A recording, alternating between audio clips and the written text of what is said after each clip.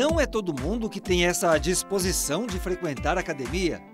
Não é todo mundo que tem essa outra disposição de fazer com frequência caminhada, corrida, enfim, atividade aeróbica.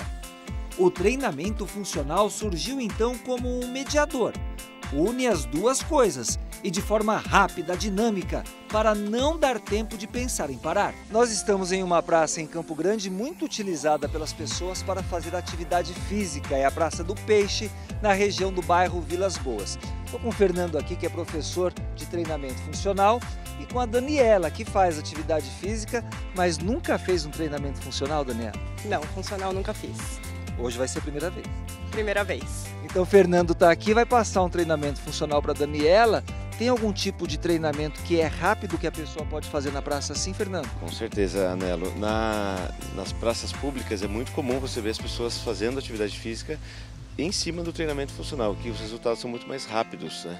O Fernando selecionou cinco exercícios. Bora lá fazer! Daniela está fazendo aqui um agachamento, trabalha toda a parte da coxa dela, a postura que ela mantém também protege e fortalece a coluna, trabalhando o glúteo e o corpo como um todo.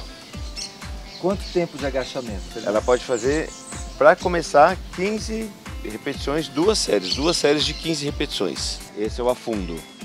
O teu joelho sempre permanece até 90 graus aqui para proteger os teus ligamentos do joelho.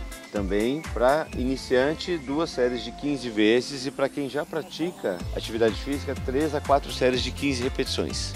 A Daniela está fazendo aqui o apoio, que é um exercício que trabalha a parte do peitoral e do tríceps, que é a parte de trás do braço. Caso da Daniela, ela está fazendo um pouquinho mais curto e aí quem tiver mais condicionamento pode descer mais o peito em relação ao banco. Neste exercício, ela realizou uma flexão de tríceps, que trabalha a parte de trás do braço, que é onde o pessoal é, popularmente fala que é o tchauzinho, né? Que as mulheres não gostam que ele balance. Então, para quem está começando duas sequências de 15 repetições e para quem já é adaptado de 3 a 4 sequências de 15 repetições. Esse exercício a Daniela fortaleceu todo o abdômen dela. É muito importante no abdominal, na sequência de abdominal, você trabalhar a respiração. Quando você contrai a musculatura, você solta o ar. Então na parte em que você aperta a musculatura, você solta o ar. Essa sequência que você passou, esse treino funcional, ele dura quanto tempo? A pessoa pode fazer quantas vezes por semana?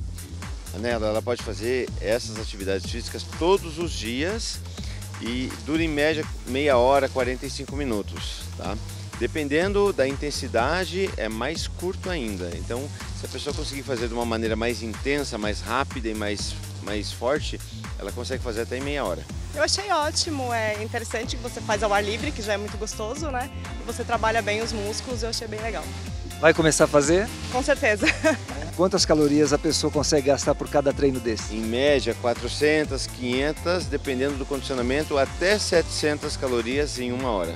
Isso em pouco tempo dá resultado, então? Muitos resultados. Resultados rápidos, né, por conta da intensidade do treino e resultados enquanto saúde também a longo prazo.